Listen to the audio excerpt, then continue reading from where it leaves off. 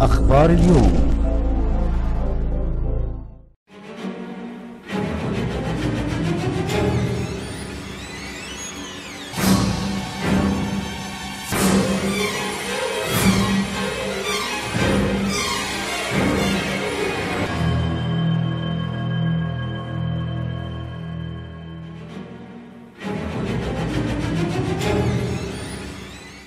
سوف تنشأ.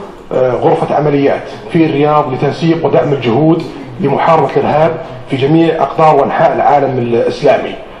آه، يأتي هذا الإعلام من حرص العالم الإسلامي على محاربة هذا الداء وكي يكون شريك للعالم كمجموعة دول في محاربة هذا الداء.